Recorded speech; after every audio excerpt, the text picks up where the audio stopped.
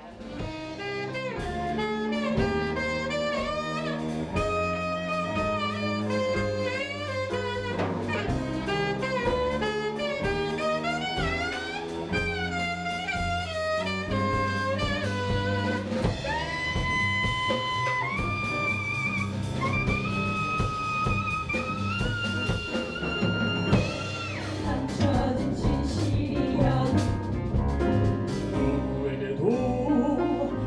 되지 않는 절망 우울한 사람. 애도하지 않는 죽음 어디에도